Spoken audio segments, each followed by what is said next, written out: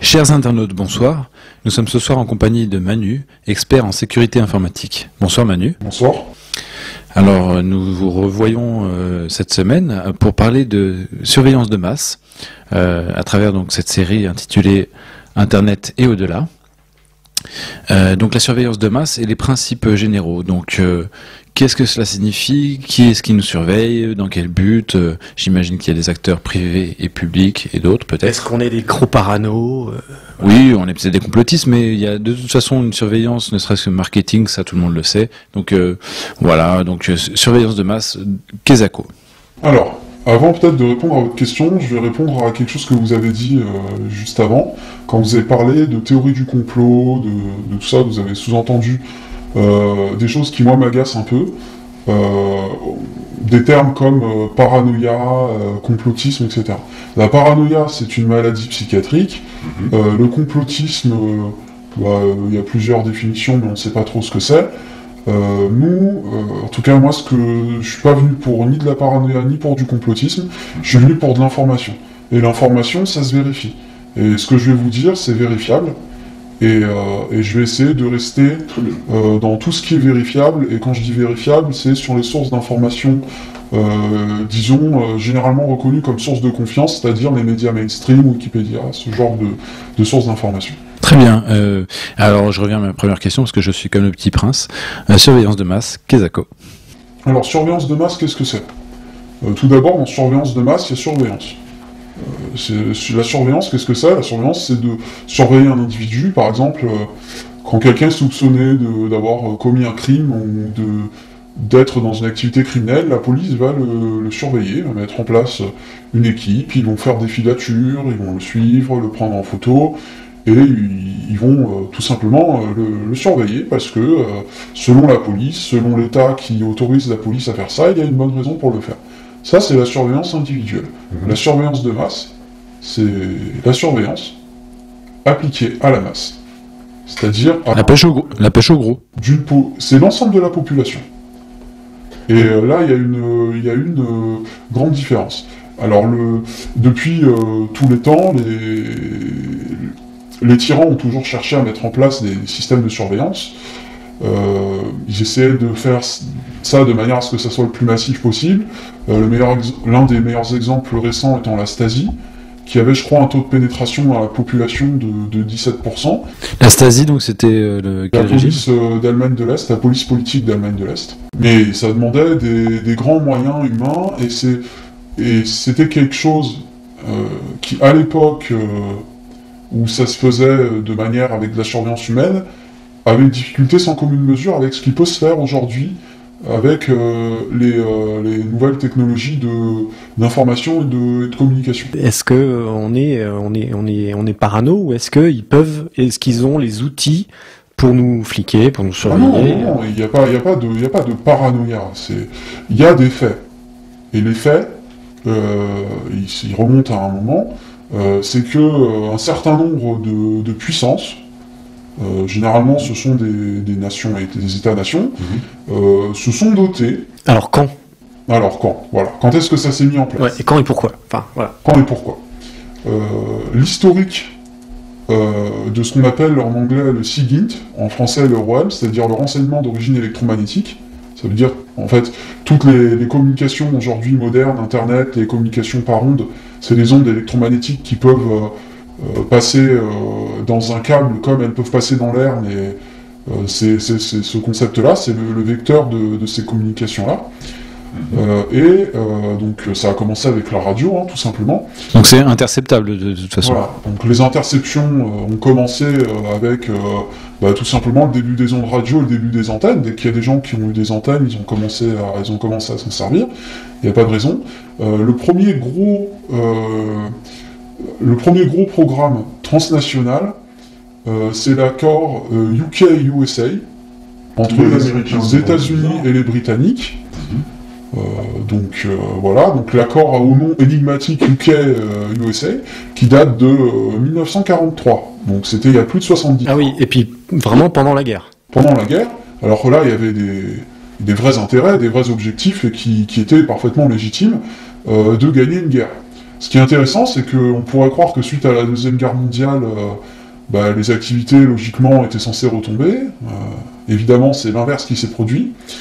Avec euh, l'arrivée de trois nouveaux arrivants dans, le, dans le, ce groupe d'interception, euh, qui ont constitué donc cinq pays qu'on appelle le réseau des Five Eyes, donc des cinq yeux, qui sont ces cinq yeux qui sont répartis partout sur la planète, les cinq pays en question étant les États-Unis, le Canada, la Grande-Bretagne, l'Australie et la Nouvelle-Zélande. Et quand on regarde la position de ces cinq pays dans le globe, ils sont parfaitement positionnés pour intercepter n'importe quelle communication en ayant un peu de, grosses antennes et au besoin en déployant en appoint euh, de la Navy comme euh, les États-Unis savent bien le faire. Donc en gros, après, à la fin de la guerre militaire, il y a une autre forme de guerre, c'est ça ce que tu es en train de nous dire, une autre forme de guerre qui a pris le relais. Déjà, il y a la guerre froide. Donc en fait, la guerre, l'état de guerre, il s'est juste transformé, il s'est pas arrêté. Ouais, c'est toujours la même chose, c'est États-Unis, Russie. Euh, les jeux de renseignement et tout ça étaient ultra, euh, ultra actifs euh, pendant, pendant tout ce qui était la guerre froide. Au début, en fait, l'obsession a été de, tout capter. Ce qui est logique, a priori, on se dit, bon, bah, on veut, capter tout ce qui, tout ce qui se passe. donc cette, ce, ce programme qui a donné plus tard le programme Échelon, dont on parlera peut-être plus en détail plus tard, en fait, ça n'a été découvert qu'en 88. Et un journaliste qui s'appelle Joan Campbell qui a sorti un article dans la presse, euh, un long article, et le titre c'était Someone's listening. Ça veut dire il y a quelqu'un qui écoute. Trois petits points. Et en fait, euh, personne n'en a eu rien à foutre. Euh, et c'est que des années après où ils se sont dit mais attendez, cet homme-là a déjà sorti toutes les infos il y a des années. Donc 88, on était 4 ans après 1984, donc... Voilà, euh, donc on était... et un an avant la chute du mur. Et, avant, et un an avant la, chute du mur, du mur de Berlin. Donc, donc nous y voilà. Après, ils se sont rendus compte qu'ils pouvaient tout capter. Ils étaient contents. Les flux internet ont explosé. Et la deuxième étape, ça a été de se dire bon, ok, maintenant on a toutes les infos. Donc on a toutes les infos sur tout le monde. Mais est-ce qu'on ne pourrait pas traiter toutes les infos sur tout le monde? Et c'est là que, ça devient flippant. Ça veut dire que au début, ils ont mis en place des systèmes. Euh, je fais une analogie par exemple avec euh, la, vidéosurveillance. Au début, ils ont mis en place des, caméras de surveillance. Et ils ont dit, mais regardez, on a mis plein de caméras, de toute façon personne ne les regardera toutes, on ne les regardera que si jamais il y a un crime qui a été commis pour savoir qui c'est. Donc les gens ils se sont dit, ok, pourquoi pas. Mais une fois que le réseau de caméras est en place, ils peuvent facilement changer les règles, et se dire, ok, un humain ne peut pas toutes les regarder, mais on a des bonnes technos de reconnaissance faciale, euh, de reconnaissance émotionnelle à partir des mouvements, à partir avec de l'intelligence artificielle, des algorithmes très poussés, des sociétés qui travaillent là-dedans, comme euh, notamment Palantir, déjà le nom de la société en dit long sur euh, leur état d'esprit, et, il y, a tout un complexe autour de ça, et qui fournissent des technologies qui permettent non seulement de collecter l'information, mais d'analyser l'information sur la globalité euh, de la population, euh, quasiment en temps réel.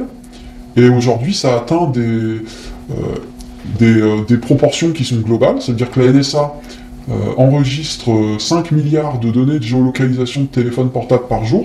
Mhm. Alors, je sais pas combien on est sur la planète, mais enfin, je sais pas, je sais pas s'ils auraient vraiment pu faire plus. Donc, donc en gros, on s'est un moment, on s'est laissé avoir en fait. On s'est laissé berner, on a, on a accepté euh, une vidéosurveillance sans voir quels pouvaient être euh, les objectifs. On s'est fait berner dans un sens. Euh, il y a eu, alors le, secret, la mise en place, tout s'est mis en place dans le secret, donc dans un sens oui et non. on ne pouvait pas savoir que tel ou tel service de renseignement allait foutre un mouchard sur un câble sous-marin au milieu de l'Atlantique. Mmh. Euh, oui et non, on s'est fait berner, euh, oui, d'un côté. Il y a un petit, il y a un côté quand même où souvent les politiques nous vendent des nouvelles normes de sécurité euh, en disant oui, c'est la lutte contre les pédophiles. Alors, par exemple, pour le fichage ADN, c'était ça, donc c'est contre les délinquants sexuels. Et maintenant, on se rend compte que tout le monde est fiché au niveau ADN. Il suffit d'avoir refusé, par exemple, un contrôle d'identité et hop, on est fiché au niveau ADN. pareil pour Internet, ils nous ont vendu, on va surveiller Internet pour lutter contre la pédocriminalité.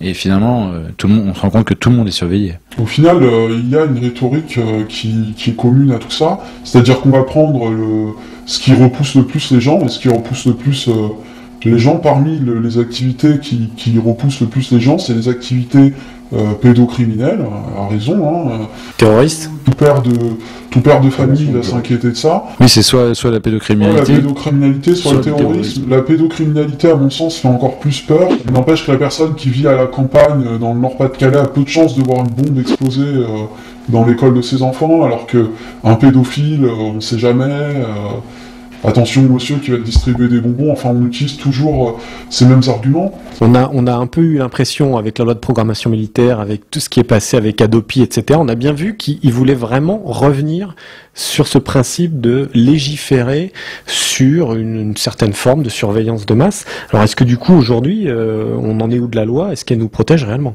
En fait, la loi ne nous protège pas vraiment. Euh, déjà, dans, il n'y a aucune loi qui protège les métadonnées.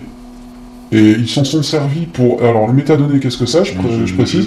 Par exemple, il y a un, il y a un email, euh, le sujet, euh, le destinataire, l'expéditeur et la taille de l'email sont considérés comme des métadonnées dans la...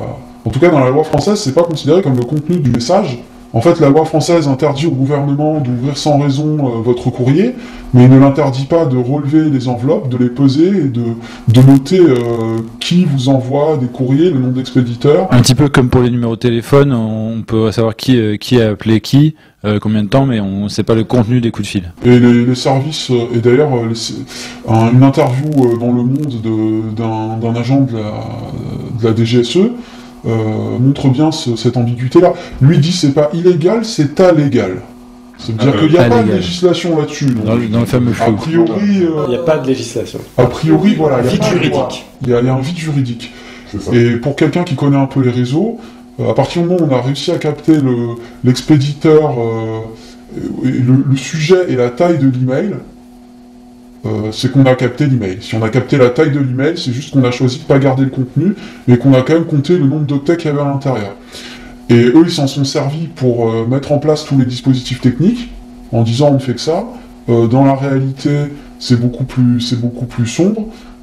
tout d'abord, en fait, le système ne nous protège pas vraiment des écoutes. Tout d'abord, il y a des écoutes juridiques pour les cas de droit commun, et puis des écoutes administratives. Alors ça, on ne sait pas forcément ce que c'est, mais c'est autre chose.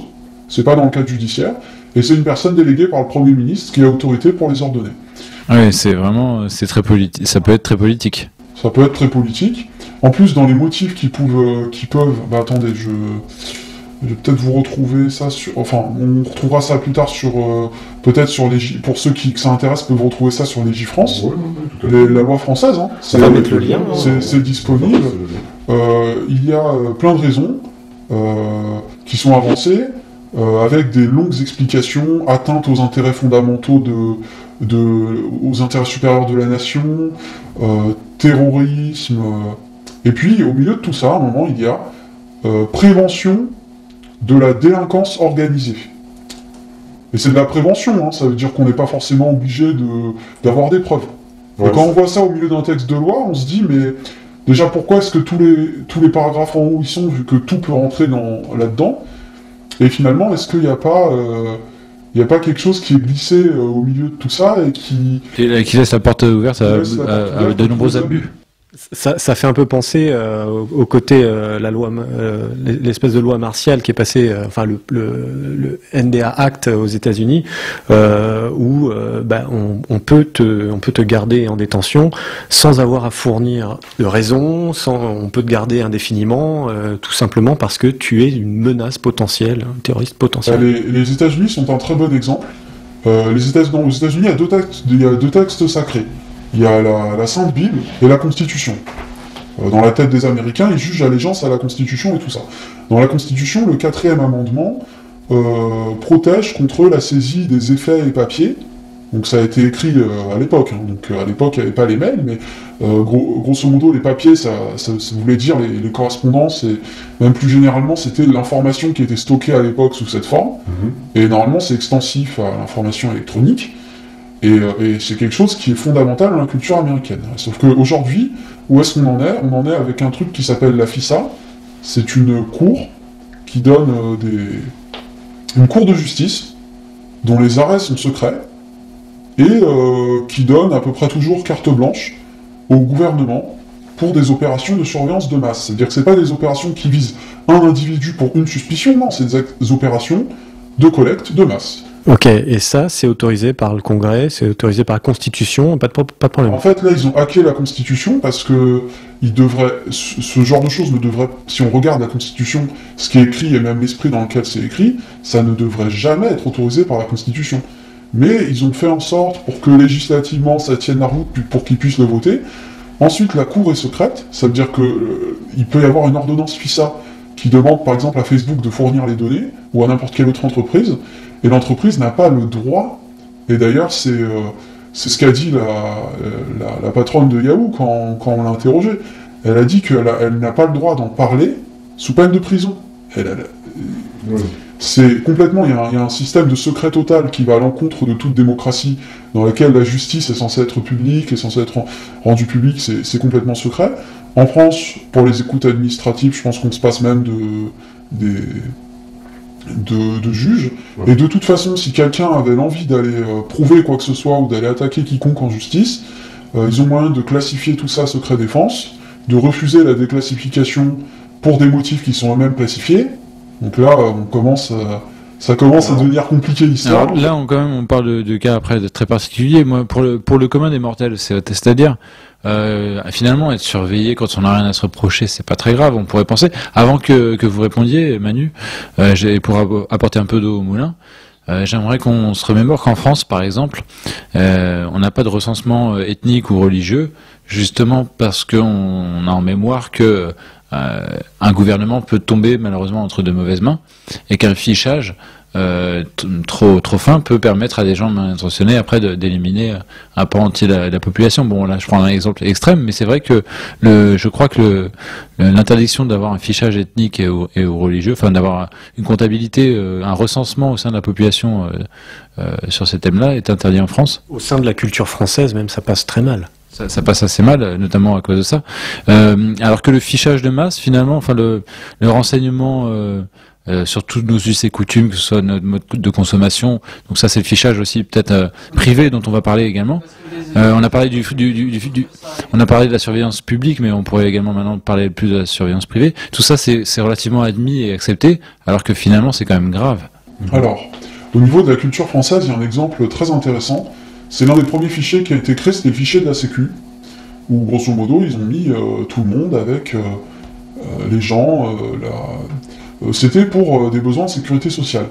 Et c'était tout simplement un fichier dans lequel, un fichier informatique, euh, c'était les, dans les années 70, hein, c'était pas les mêmes ordinateurs qu'aujourd'hui, c'était un fichier informatique, dedans il y avait, il y avait toutes les informations concernant la sécu. Mhm. Et c'était pas vraiment quelque chose qui était du tout quelque chose...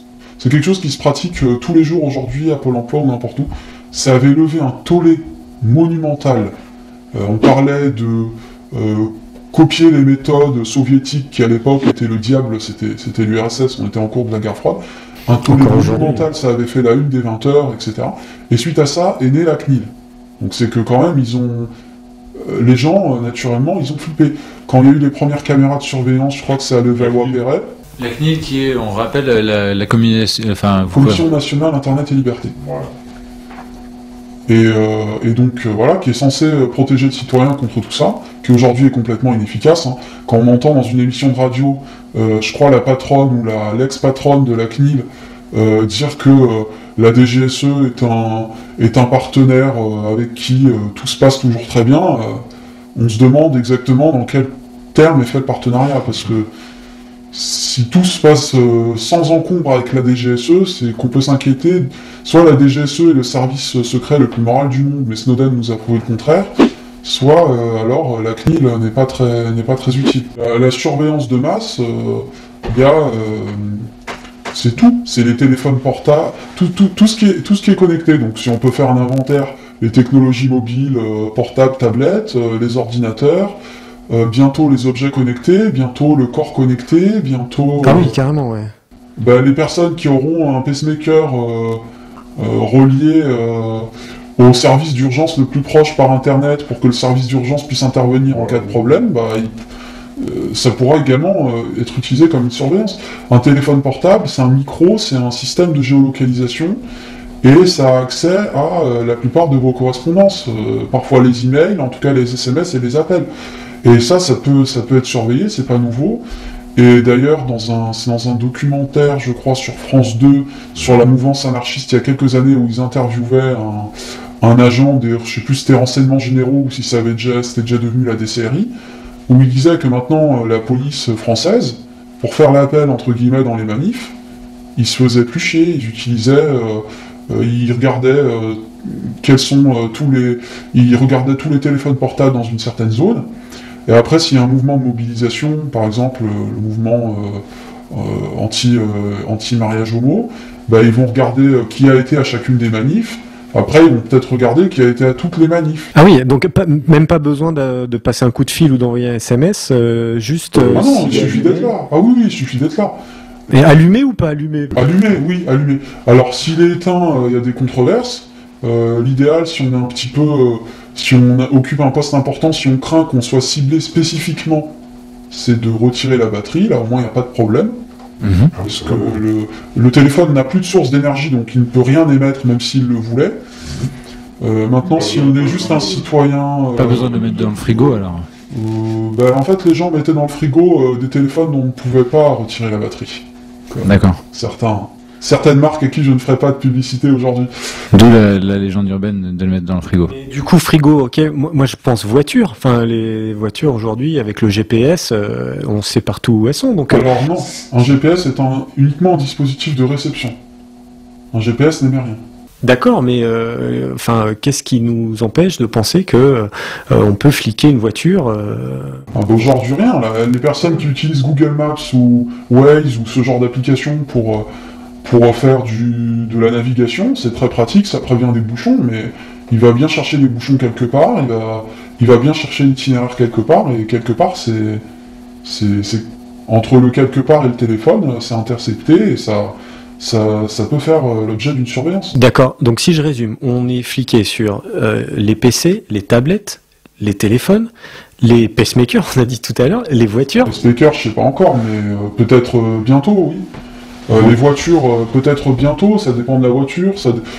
Les voitures, pas forcément, mais après, si on a le téléphone portable dans la voiture, le problème est réglé. Ouais, c'est tout ce qui est connecté à un réseau quelconque. Tout ce qui est connecté à un Même un passe Navigo, finalement. Mais après, ça, ça peut aller très loin. Après, euh, ça peut aller très loin, mais ça, j'en parlerai peut-être quand on parlera, par exemple, des programmes de type index. Mhm. C'est-à-dire qu'après, il y a du croisement de données, mais... Alors, justement, avant de parler de tout ça, euh, il y a également donc euh, la surveillance publique par par les services euh, de renseignement, mais il y a également la, la, surveillance privée puisque finalement il y a toutes les méta le data marketing repose essentiellement sur la surveillance des habitudes de consommation des citoyens et, ça ça peut aller très très très loin. On sait qu'aujourd'hui ça, ça, ça concerne des millions et des millions de données et que finalement on peut s'imaginer que la plupart des entreprises privées, même les plus grosses, plient tout à fait à toutes les demandes des, entre, des, gouvernements dès qu'il s'agit d'avoir des informations sur tel ou tel citoyen. Oui, alors euh, là, il y a déjà la surveillance du, marketing, c'est un peu la surveillance du pauvre. Ça veut dire que ça, utilise des technologies euh, qui sont faites par des gens qui ne peuvent pas se payer les, les moyens gouvernementaux. Mhm. C'est moins discret, ça peut se désactiver avec les bons plugins euh, au sein d'un navigateur, par exemple tout ce qui est relié à un réseau, une carte bleue, c'est aussi un moyen finalement de, tracer les gens, etc. Oui, la surveillance de masse, en fait, en fait tout ce qui, tout ce qui a des capteurs qui est capable d'avoir de l'information sur vous. Euh, donc euh, votre carte bleue, pas votre carte bleue en tant que telle, mais vos flux financiers, à chaque fois que vous l'utilisez pour vous authentifier en tant que vous, euh, ça va le réseau financier, les réseaux de caméras de vidéosurveillance, les portiques écotax, c'est un méga système de fichage du trafic routier. Hein. Parce que ça prend en photo toutes les, toutes les plaques d'immatriculation. Donc aujourd'hui, c'est utilisé pour taxer les gens avec des bretons qui sont pas contents, mais, mais demain, ils pourront très bien l'intégrer dans un système euh, de, fichage où, ils, où, où repèrent euh, les plaques d'immatriculation, le, le, trafic, le trafic routier, demain les drones. De toute façon, aujourd'hui, un mouvement qui s'inscrit dans un conflit contre un conflit sérieux contre un État, euh, il est obligé d'avoir des équipes euh, qui gèrent toute la partie euh, système d'information et de communication, euh, qui soit solide et qui soit capable de tout gérer en interne et de et d'avoir des équipes solides en sécurité informatique. Aujourd'hui, c'est nécessaire. Alors j'avais une dernière question, euh, très pratique, très euh, presque égoïste, je dirais, en tout cas égocentrique. Est-ce que euh, un organisme comme le Cercle des volontaires est, est surveillé, fiché, voire infiltré? À partir du moment, il n'y a pas besoin. L'infiltration, c'est infiltration humaine. Je sais pas, est-ce que l'État a choisi de le faire ou pas?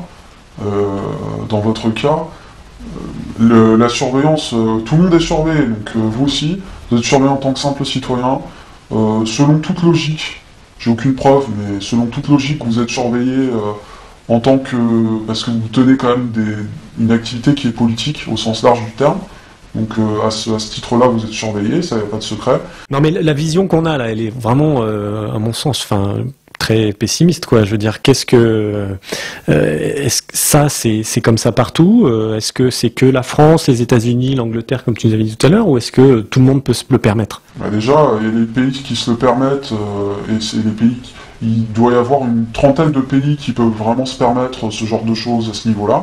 Maintenant, il y a aussi euh, des petits pays, par exemple la Libye, on n'aurait pas dit que sous Kadhafi pouvait se le permettre, mais grâce au merveilleux savoir-faire d'entreprises françaises, euh, ils ont pu.